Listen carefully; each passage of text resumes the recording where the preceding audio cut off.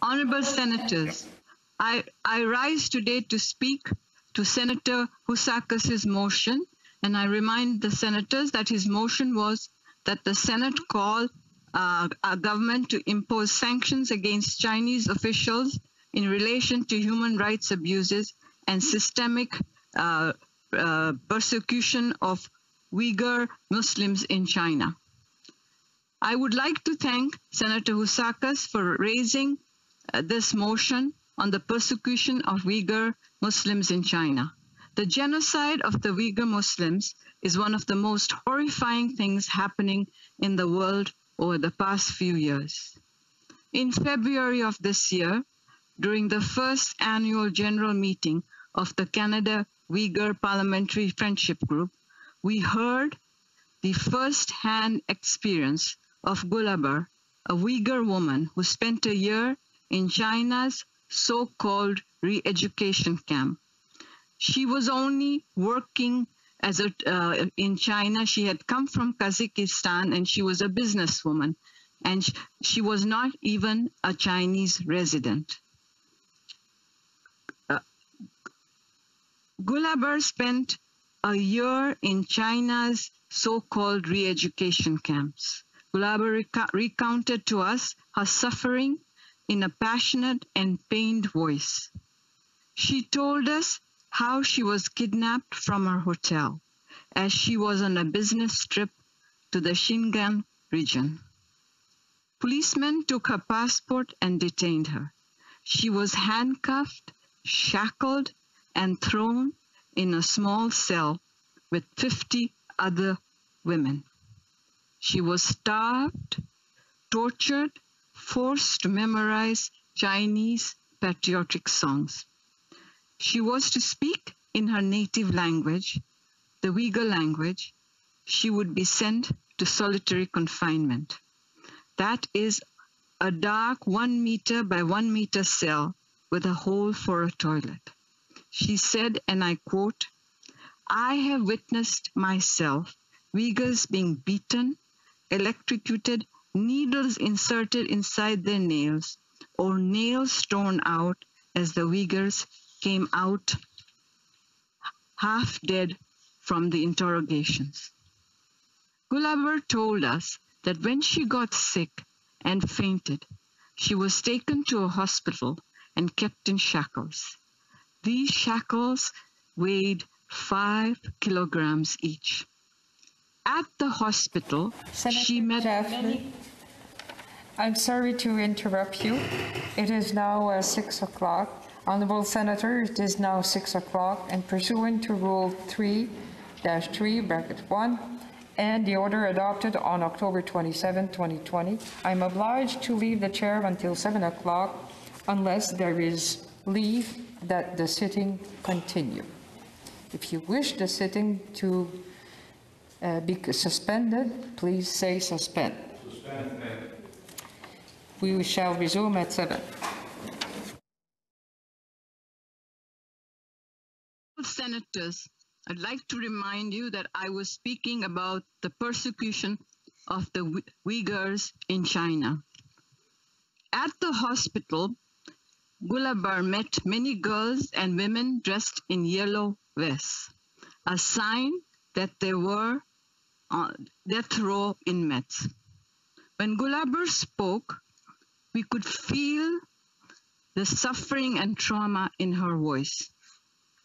But Gulbahar was lucky because she was let go. She is now a free woman living in France. The most conservative estimate of the number of Uyghurs in Chinese prison camps is 1 million. 1 million people are being tortured right now as we speak, only because of their faith, the Muslim faith.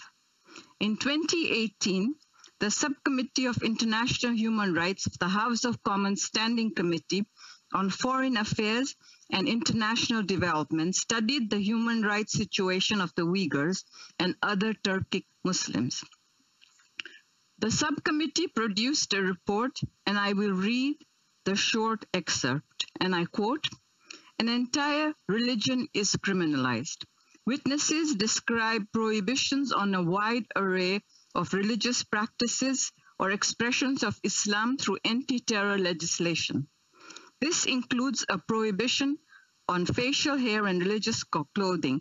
Individuals with names bearing religious significance have been forced to change their names. Qurans, religious literature, and prayer mats kept at home are confiscated. Keeping Islamic dietary practices is prohibited. Halal signs are now illegal, and restaurants must stay open during Ramadan. It is also prohibited to teach Islam to children. Individuals have been detained for praying five times a day and for circulating religious texts among family members. Close quotations. But religious identity is not the only facet of the Uyghur identity. Their language, their culture, their traditions are all under attack. They are no longer taught in schools, and if caught talking to your children in Uyghur, you would be imprisoned in the notorious Chinese camps. Uyghur professors, athletes, politicians are specifically targeted. Farida Deif from the Human Rights Watch said, and I quote, To be clear, the scale and scope of abuses in Xinjiang are unlike Human Rights Watch has seen in China for decades. Not just the numbers of people held, but the abuses, the systemic abuses region-wide are unprecedented. In addition, the impact goes beyond China to Uyghurs globally, including Uyghur Canadians here at home. It is unlike anything we have seen before. Close quotations. As is always the case, the women in these situations suffer an additional type of torture, sexual abuse. The few women who were released and were able to flee to countries where they can feel safe recounted their stories of rape and other forms of sexual violence. The most common story goes like this. The Chinese men would go in the cells pick the women they want. The female officer then would strip the woman naked and handcuff them with their wrists above their head. The woman would be escorted to what they call the black room, which has no surveillance cameras. Chinese men would then rape her, sometimes several men, sometimes several times a night. A woman who miraculously remained alive was released from the so-called re-education camps and said on in, at, BBC, and I quote, Perhaps this is the most unforgettable scar on me forever. Close quotations. Senators, let me explain that I chose the most common story of rape. I did not choose to relate in this chamber the many accounts of electric sticks and other forms of torture used as part of sexual violence. It is indeed, as Farida Deif said, unlike anything we have seen before. This in addition to sterilization, indoctrination, and the attempt at erasing Uyghur should not pass. We cannot let it stand. In late February, the other place voted 266 to, to, to, to zero to declare China's treatment of its Uyghur minority population as a genocide.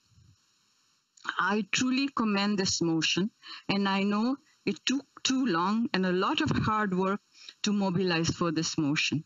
But I cannot in clear conscience say that this is enough. Surprises that this is enough. I understand that the world, including Canada, will undoubtedly continue to work with China on trade, climate change, and other matters. But it is crucial to continue to remember that the Chinese government does. We, do, we must not falter in our pursuit of justice and of rights, especially when it comes to vulnerable people. And I must ask, why is our government hesitant in its response to this genocide?